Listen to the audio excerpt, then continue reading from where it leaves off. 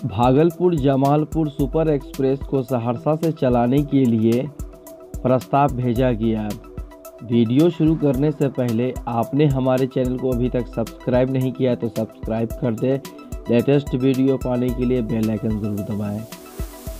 भागलपुर के रास्ते जमालपुर से हावड़ा के बीच रोज़ाना चलने वाली सुपर एक्सप्रेस को सहरसा से चलाने की तैयारी हो रही है।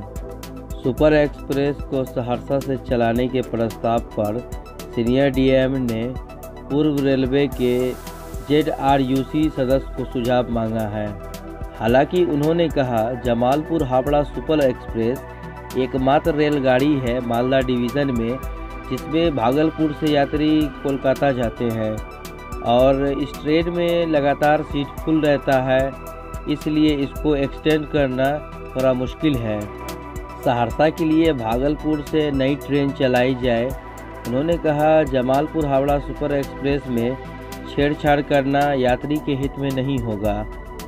यात्रियों को काफ़ी अपाधपी का सामना करना पड़ेगा। यानी जमालपुर हावड़ा सुपर एक्सप्रेस को विस्तार सहरसा तक नहीं होगा, क्योंकि जमालपुर सुपर एक्सप्रेस जो है, इसमें लगातार जमालपुर से कोलकाता के बीच काफ़ी भीड़ चलती है। इस ट्रेन के स्लीपर क्लास में ज़्यादातर वेटिंग रहता है। इस चलते मालदा डिवीज़न की यह ट्रेन जो है, बहुत महत्वपूर्ण माना गया है कोलकाता जाने के लिए। इसलिए इसका एक्सटेंड करना थोड़ा मुश्किल है। आज के वीडियो में इतना ही। मिलते हैं एक नई वीडियो के साथ। एक बार फिर।